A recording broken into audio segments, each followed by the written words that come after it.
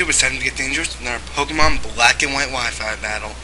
This is me actually taking, I guess you call it the battle virginity of um, the YouTuber Michaela. Um, she is very new. Um, she doesn't know much about the game. She's learning. She understands all the basics. And, well, she just asked me, want to have a battle? I was like, sure. So I leads on with my Voltorona. She leads off with her Ape. And I'm like, okay, rocks don't really bother me. I want to get some damage on this thing so I can bring my Milotic in to force a switch. So she fakes out, I Volt Switch, and here we are. So this is the basic Milotic. I really like it. I predict the switch into something that can take it. So I switch out, and I go for the Dragon Tail. I'm like, okay.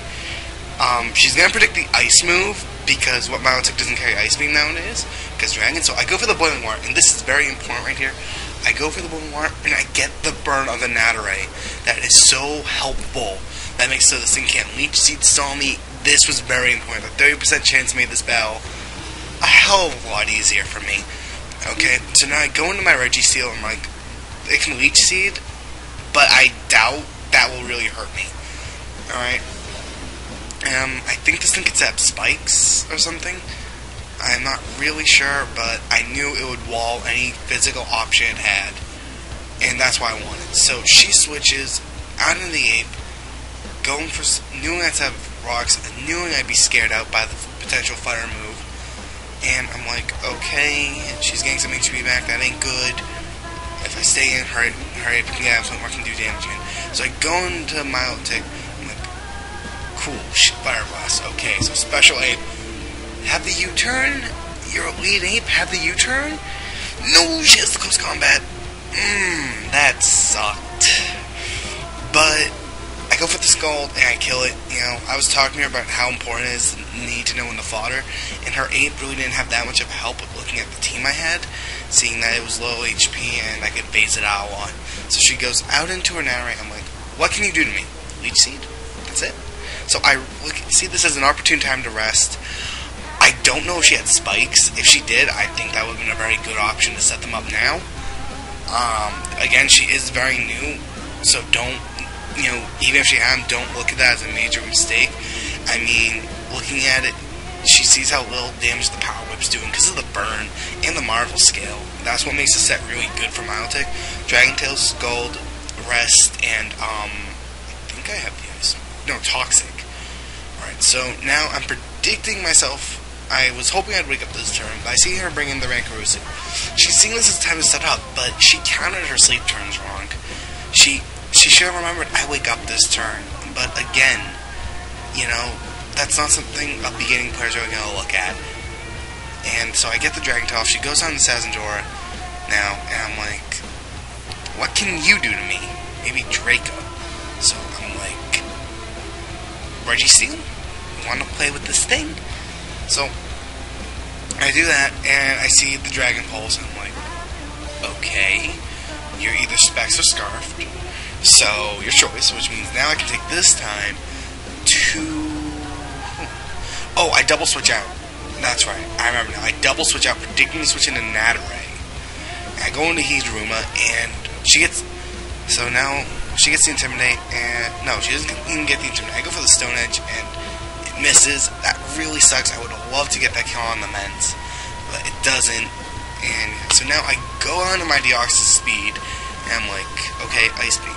She goes on to Nattare knowing she doesn't really have a big use for it anymore, and I Ice Beam.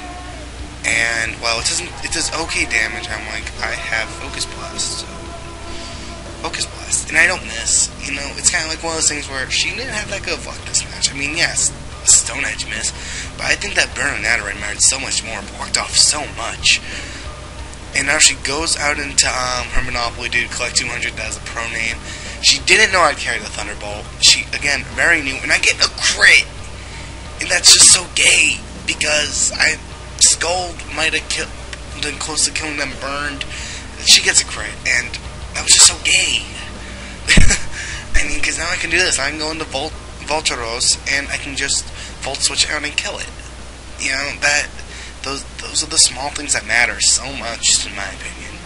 Alright? So now, I go back onto Registeel. And yes, that's another thing. I'm playing like a bitch. Milotic Registeel is a very good cover combo. It's one of my favorites. And after you go into the Mence, I'm like, what are you to do to me? Alright? Alright, you're not gonna do really anything. You know, you got Earthquake. So, she she predicts me, and I'm proud of this, because I'm thinking that's a mixed Mence. So I think she has Earthquake. And she goes with Fire Blast, knowing that I would go into that. So that's a good little prediction right there. So now I go into Milotic, knowing that Mence really can't hurt me, except, oh, whoa, what? Oh, 261 HP, it's a Zoroark. I kinda think, you know, most people would fall for that point now. But she does figure out it's Scarf just by seeing me Night Daze. So that's really cool, because, you know, and then she goes for the U-turn, you're predicting my switch, I'm going to get some residual damage on. And this is the part of the match where you see how gay I can be to people. She's an up-and-coming player, and I do this. I thunderwave. It's like, okay. She Focus Blast, and I'm like, oh, God, don't kill, don't kill, don't kill. And it doesn't kill. So, guess what I'm going to do from here? This is a 32 bow, and guess what I do? Iron Head. Leftovers. Iron leftovers. Okay, yeah, I do this. I power flinch stall her. She's using the focus blast. I ran numbers. She had a 49, no, yeah, like a 49% chance of getting, not getting powered, not getting flinched, and hitting the focus blast. So she just goes to a psychic, knowing if I'm gonna get a chance of even doing any damage, I'm probably gonna miss the focus blast if I get it off. So I just want to get some damage in, which personally I think was a smart move. I mean, I might want to suggest HP fighting, really going to come up against power flinching Registeel. You know, so unfortunately now, she really can't do anything, so I have to be a bitch again. And she doesn't have the Fire Blast, and I think she explained to me why she didn't. It was okay logic. You know, not the most amazing logic, but she's a new player, you guys. Okay, and I think she did very good for a beginning. She understood the basic potentials of what could happen. You know, maybe her sets could use a little tweaking, her team could use a little tweaking. But, you know, for a beginning battle, this was very good. It was 20 times better than when I started. And she's starting in Generation 5, where there are no tiers or anything. So you gotta look at that as a big thing. I mean, I, I was using a potential Uber right there in Deoxys E. And Voltros is also a potential Uber. Alright, I was using my standard team against her, full out. And that's kinda good for how well she did. I mean, I'm not trying to talk myself up here, but I think she did very good. She had, I'm just looking at her team, she had one major weakness to Deoxys speed, seeing that it could have a move to hit every one of her pokes. Ice Beam, hits Salamence, and it hits um, Sazendora. Focus Blast hits um, Sazendora and um, Natare.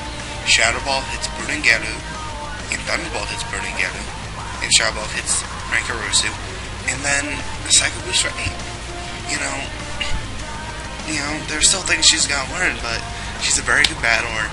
Go check her out. She's just learning now, so you know, if you're if you feel like you're a good battler and you want to help her out, do that. You know, I'm not gonna lie. The female community for battling is very shallow, and I want Pokemon to be a game that everybody can enjoy. You know, so now it's now I'm ranting again for more minutes, and I should really stop because my girlfriend is like, why are you narrating Pokemon when you could be talking to me? And I'd rather be talking to her, to be honest. Uh, I'd give up Pokemon for her. So yeah, um, that was a very good game, Pikachu. Or Mikhail, I'd just call you Mikhailov. Eh, just how I am. Um, alright, so I will catch you guys later. Peace.